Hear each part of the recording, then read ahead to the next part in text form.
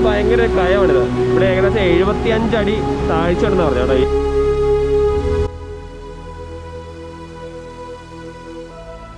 ഈ കാശഭംഗിയൊക്കെ ആസ്വദിച്ച് നമുക്ക് ഈ ഐസ്ക്രീം കഴിക്കാം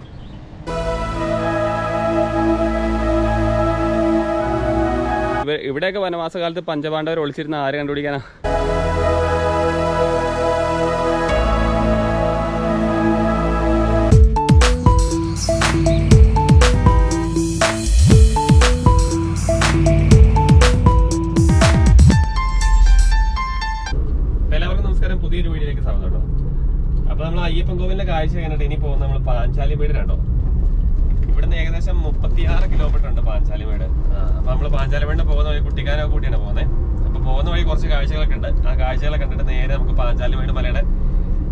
കാഴ്ചയും കാണാം കേട്ടോ.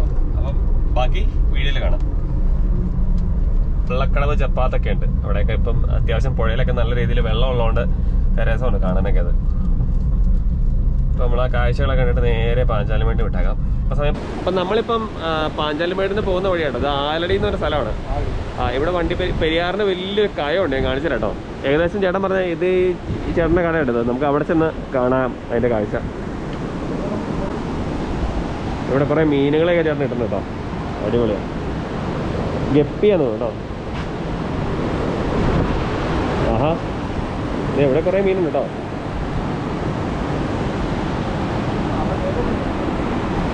അടിപൊളി. അപ്പൊ ഇതാട്ടോ നമ്മുടെ പെരിയാറ്.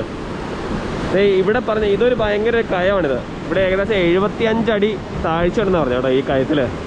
അപ്പൊ നമുക്ക് ഊഹിക്കാലോ എഴുപത്തഞ്ച് അടി എന്ന് പറയുമ്പോൾ എന്തോരാണെന്ന് ഈ വീടിന്റെ പൊക്കത്തെക്കാളും കൂടുതൽ താഴ്ച ഉണ്ട് അവിടെ.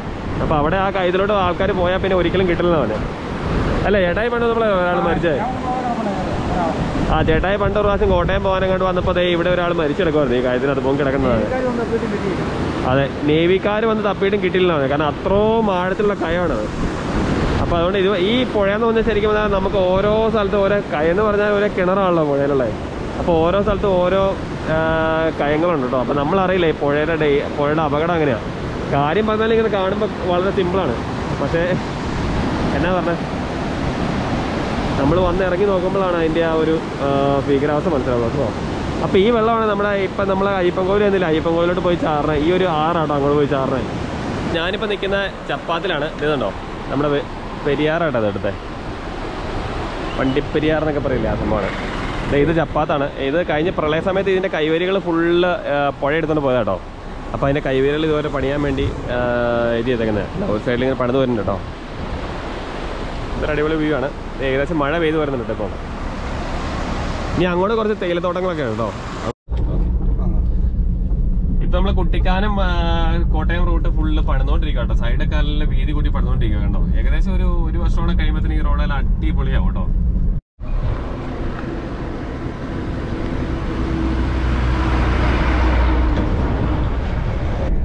ഇവിടുന്ന് അമ്പത്തിയൊന്ന് കിലോമീറ്റർ സഞ്ചരിച്ചാൽ എരുമേലി എത്തും.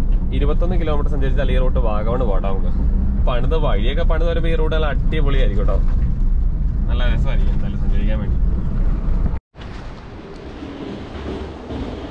നമ്മൾ കട്ടപ്പനയിൽ നിന്ന് കുട്ടിക്കാനം പോകുമ്പോൾ ഒരുപാട് നല്ല സ്ഥലങ്ങളുണ്ട് കേട്ടോ. നമ്മൾ ഓൺ ദ വെയിൽ അപ്പോൾ അതിലൊരു സ്ഥലത്താണ് ഞാൻ നിൽക്കുന്നത് എന്റെ പുറകെ കാണുന്ന അടിപൊളി കാഴ്ചയാണ്. എന്തായാലും കട്ടപ്പന ടു കുട്ടിക്കാനം കോട്ടയം റൂട്ട് നല്ല അടിപൊളിയായിട്ടാണ് പണിയണത് നല്ല വീതി കൂട്ടി കണ്ടോ? നല്ല വീതി കൂടെയുള്ള സെറ്റപ്പായിട്ടാണ് റോഡ് പണിയുന്നത് കേട്ടോ. എന്നിട്ട് ആ റോഡിന്റെ തൊട്ട് താഴെ തേയിലത്തോട്ടങ്ങൾ ആ തേയിലത്തോട്ടത്തിന്റെ അവിടെ നിന്ന് കണ്ടോ അവിടെ ഒരു വെള്ളച്ചാട്ടമുണ്ട്. ആ അടിപൊളി കാഴ്ചയുണ്ട് നമ്മൾ ആ കെട്ടത് അവിടം വരെ എല്ലാം കെട്ടെല്ലാം കഴിഞ്ഞു കേട്ടോ. അവിടെ എല്ലാം അടിപൊളിയായിട്ട് കെട്ടിയിട്ടുണ്ട്. നമ്മളിത് ആ റോഡിന്റെ മേലോട്ട് കയറിയാണ് പോകുന്നത്. ഇത് താഴ്ന്ന് അവിടെ ഒരു തോട് വരുന്നുണ്ട്. ഇത് സൂപ്പർ വ്യൂ ആട്ടോ അവിടെ നിന്നാൽ അപ്പോൾ ഇങ്ങനെ ഓൺ ദ ഓൺ ദ വേയിൽ ഇതുപോലെയുള്ള നല്ല നല്ല കാഴ്ചകളൊക്കെ കണ്ടിട്ട് നമുക്കൊരു ഡ്രൈവാണ് ഒരു രണ്ട് മൂന്ന് വർഷത്തിനുള്ളിൽ ഈ ഒരു റോഡിന്റെ പണി തീരും. അപ്പോൾ ഈ പണി തീർന്നാൽ അടിപൊളിയാണ് ഇതിലൂടെ വരാൻ വേണ്ടി. കാരണം നാല് വരി പാത അത്ര വീതിയിലാണ് കേട്ടോ റോഡ് പണിയണേ. എന്നാലും കിടുവാണ്. അപ്പോൾ ഈ റോഡ് പണി പണിതതിന് ശേഷം നമ്മൾ ഒരു പ്രാവശ്യം വരുന്നതായിരിക്കും.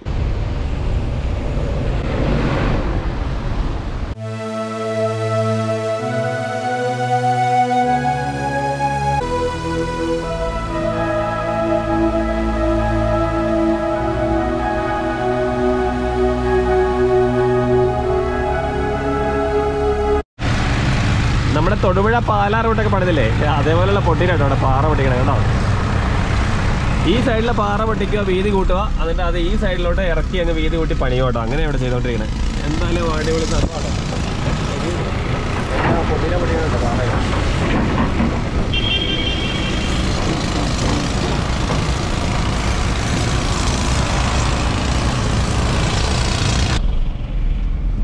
ഏലപ്പാറ ടൗണിലാണ് അതായത് താഴത്തോട് പോകുന്ന വഴി വാഗമണിലാണ്. വാഗമൺ ഇവിടുന്ന് പതിനഞ്ച് കിലോമീറ്റർ പോയാൽ വാഗമൺ ഇത് കേട്ടോ കുട്ടിക്കാനം ഇവിടുന്ന് വേറെ എട്ട് കിലോമീറ്റർ പോയാൽ മതി. ഇതേ കുട്ടിക്കാനം മലയിലൊക്കെ മേളിൽ ഫുള്ളായിട്ട് മഞ്ഞ് കയറി നിൽക്കണോ നമ്മൾ നിന്ന് കുറച്ചിങ്ങ് ഏലപ്പാറ കുറച്ചും കയറി ഇത് വാഗമൺ പോകുന്ന റൂട്ടാട്ടോ അതെ താഴെ കാണുന്നത് കണ്ടോ?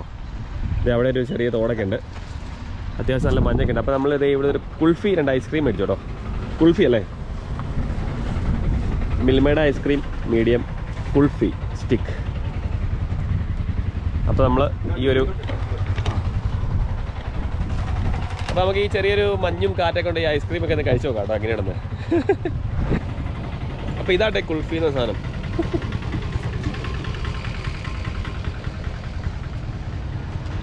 ഈ മലയുടെ കാറ്റൊക്കെ കൊണ്ട് ഈ കാഴ്ചഭംഗിയൊക്കെ ആസ്വദിച്ച് നമുക്ക് ഈ ഐസ്ക്രീം കഴിക്കാം കേട്ടോ.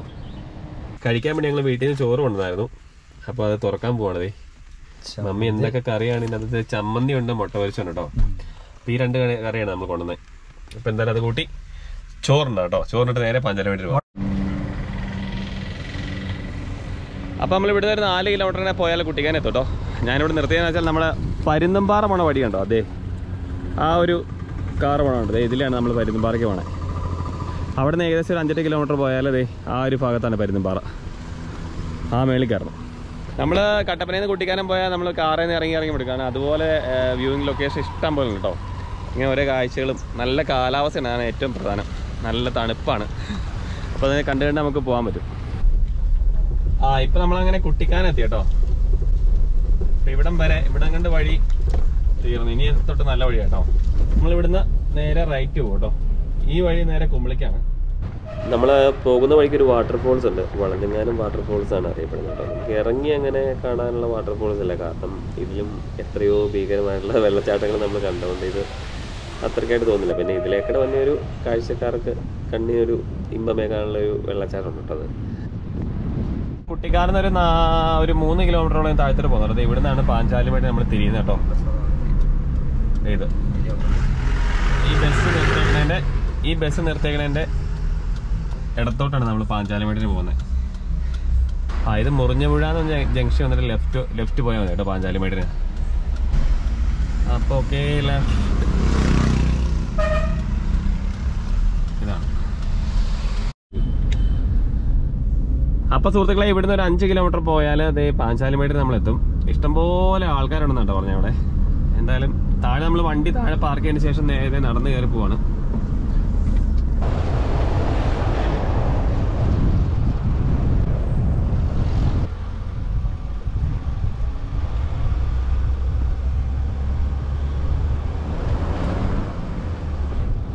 ഇതാട്ടോ പാഞ്ചാലിമേടിന്റെ അവസ്ഥ. ഇഷ്ടംപോലെ ആൾക്കാരുണ്ട്. വണ്ടി പോകുമ്പോൾ പാർക്ക് ചെയ്യാൻ പോകുന്ന സ്ഥലമില്ല.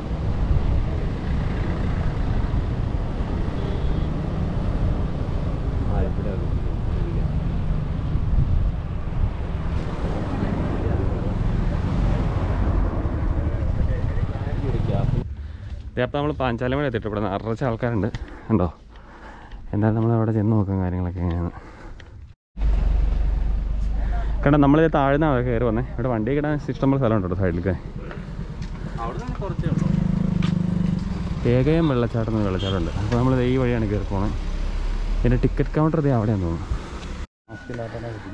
അപ്പോൾ നമ്മളിവിടെ ഇതിന്റെ ഉള്ളിൽ കയറി കേട്ടോ. പ്രവേശന ഫീസ് അമ്പത് രൂപയാണ് കേട്ടോ. എന്തായാലും കൊള്ളാം. ഇവിടെ ഒരു ഗേറ്റൊക്കെ വെച്ചിട്ടുണ്ട്. ഇപ്പോൾ ഇവിടെ ഭയങ്കര പുരോഗമനം. ഞങ്ങളന്ന് വന്ന സമയത്ത് ഇവിടെ ഒന്നുമില്ല കേട്ടോ. വനവാസകാലത്ത് പഞ്ചപാണ്ഡവന്മാർ ഇവിടെ വന്നിട്ട് വിശ്രമിച്ചു എന്ന് പറയപ്പെടുന്ന ഒരു സ്ഥലമാണ് കേട്ടോ ഈ പാഞ്ചാലിമേട് എന്നറിയപ്പെടുന്നത് അടിപൊളിയാക്കിയിട്ടുണ്ട് കേട്ടോ. ഇങ്ങോട്ട് പോകാനുള്ളത് നല്ല കാലാവസ്ഥയൊക്കെ ആയതുകൊണ്ട് ഇഷ്ടംപോലെ ആളുകൾ വന്നെ കേട്ടോ. കാരണം നല്ല തണുപ്പല്ലേ? ഹൈ ആയതുകൊണ്ട് കാലാവസ്ഥ കൊണ്ട് വളരെ അനുയോജ്യമാണ് ഇതേ നടക്കാനൊക്കെ. കാരണം പോകുന്ന വഴിക്ക് ചെറിയ ചെറിയ ഗാർഡൻസും വിശ്രമിക്കാൻ ബെഞ്ചൊക്കെ ഇട്ട് വെച്ചിട്ടുണ്ട് കേട്ടോ അതുകൊണ്ട് നമുക്കതൊക്കെ കണ്ട് പയ്യെ ഇവിടുത്തെ കാലാവസ്ഥയൊക്കെ തണുപ്പൊക്കെ അനുഭവിച്ച് മേലോട്ട് കയറിപ്പോ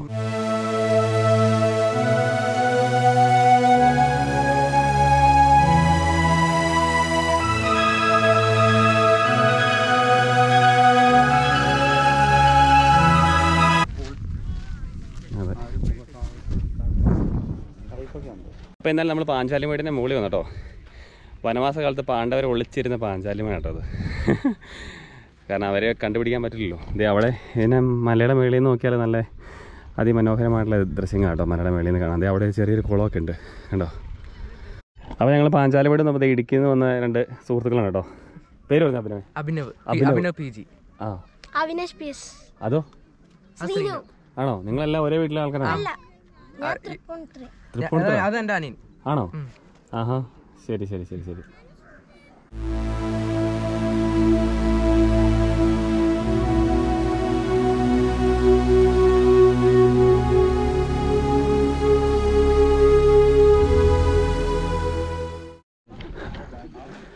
അപ്പോൾ ഇത് ഓൾമോസ്റ്റ് ടോപ്പ് ഏരിയ നമ്മൾ എത്തി കേട്ടോ താഴത്തോടെ കൺസ്ട്രക്ഷൻ വർക്കുകളൊക്കെ നടക്കുന്നുണ്ട് നടക്കുന്നുണ്ടോ കേട്ടോ. കൊള്ളാം.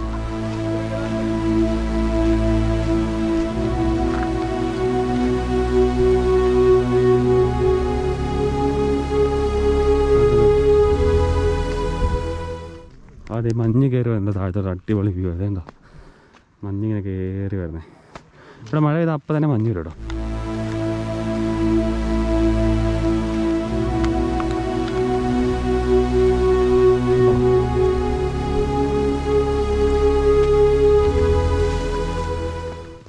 നമുക്കിന്ന് നടക്കാനാണെങ്കിൽ കുറേ നടക്കാം കേട്ടോ ഇതിന്റെ മുകളിൽ കൂടെ. ഏറ്റവും വലിയ കുഴപ്പമെന്ന് വെച്ചാൽ ഇടി ഇടിമിന്നലുള്ള ഉള്ളപ്പോൾ ഇതിന്റെ മേളിൽ വരില്ല കേട്ടോ. കാരണം ഇത് പൊങ്ങി നിൽക്കുന്നതുകൊണ്ട് ഇടി വെട്ടാനുള്ള ചാൻസ് ഒക്കെ ഉണ്ട്. അവിടെ എഴുതി വെച്ചിട്ടുണ്ട് കേട്ടോ അപ്പോൾ നമ്മൾ അതിനു മുമ്പ് കണ്ടിറങ്ങാം. ഈ പാഞ്ചാലിമേടിന്ന് ഉദ്ദേശം വെച്ചാൽ ഇതിന്റെ മേളിക്കടയിൽ അവർ കേട്ടോ നല്ല രസമാണ് ഇതിന്റെ മേളിൽ നടക്കാൻ വേണ്ടി. കാരണം ഒരു പുൽമേടിന്റെ മുകളിൽ നമ്മൾ വാഗമണൊക്കെ പോയി നടക്കില്ലേ അതേപോലെ ഒരു പ്രതീതി കേട്ടോ. കുറേ ഒത്തിരി ആൾക്കാർ വരുന്നത് കാരണം മുണ്ടക്കയം ഭാഗത്തുനിന്നും മറ്റേ കോട്ടയം ഭാഗത്തുനിന്നും അവിടെ നിന്നുള്ള ആൾക്കാർ എറണാകുളം സൈഡിൽ നിന്നൊക്കെയുള്ള ആൾക്കാർ ഇഷ്ടം പോലെ വരുന്നൊരു സ്ഥലമാണിത്. ഒരു അഞ്ചാറ് വർഷം ഇവിടെ വന്നപ്പോൾ ഇതുപോലെ ഒന്നുമില്ല നമുക്ക് കൂളായിട്ട് കയറി വരാം.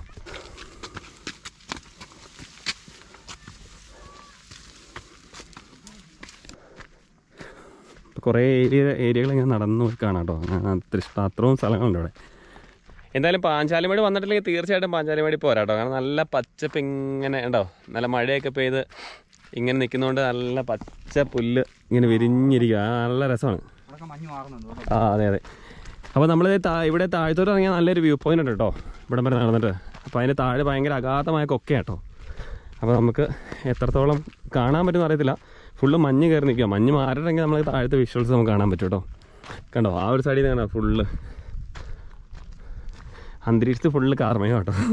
പക്ഷെ എന്നാലും മഴയില്ല. ചെറിയൊരു സ്പ്രേ പോലെ ഇങ്ങനെ പെയ്യുന്നുണ്ട്. അത്രേ ഉള്ളൂ. കണ്ടോ? ഇത് ഭയങ്കര കുഴിയാട്ടോ അവിടെ ഭയങ്കര കുക്കയാണ്. അപ്പോൾ നമുക്ക് അങ്ങോട്ട് ആ അതെവിടം വരെ പോവാം? ഇതിലേക്കൂടെ പോവാം.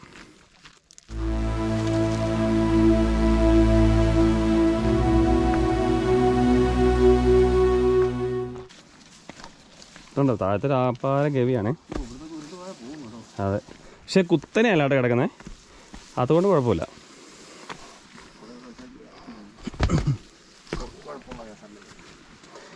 ഇല്ലമ്പില്ല പാറ. ആ അത് കുഴപ്പമില്ല. അപ്പം അപ്പോൾ സുഹൃത്തുക്കളെ ഇതാണ് ഇതേ ഇവിടുത്തെ വ്യൂ കേട്ടോ. ഇങ്ങനെ ടോപ്പിലോട്ട് ഇങ്ങനെ കിടക്കുവാണ്. ചാ പാരഗ്ലൈഡിങ് ചെയ്യാൻ പറ്റിയ സ്ഥലം കേട്ടോ. ഇത് ഏകദേശം ഒരു പത്ത് രണ്ടായിരം അടി ഹൈറ്റ് വരുന്നു തോന്നുന്നു കണ്ടിട്ട്. ഇത് മഞ്ഞിങ്ങനെ വന്നോ കേറി.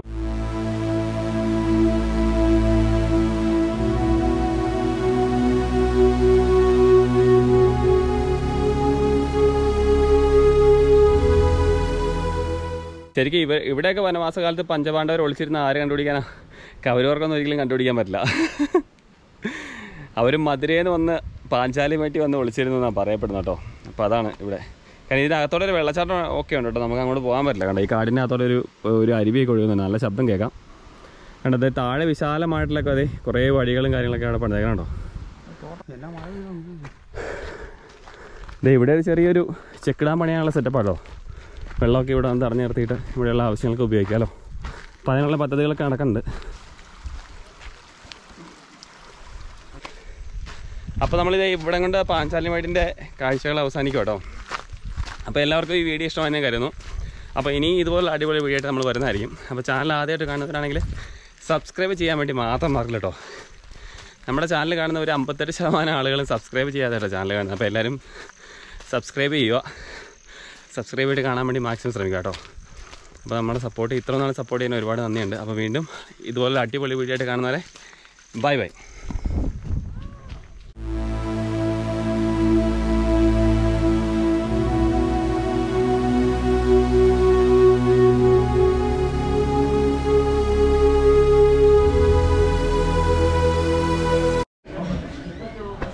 കണ്ടോ ഇവിടെ ഇങ്ങനെ മണ്ഡപം പോലെ ഉണ്ടാക്കിയിട്ടുണ്ടോ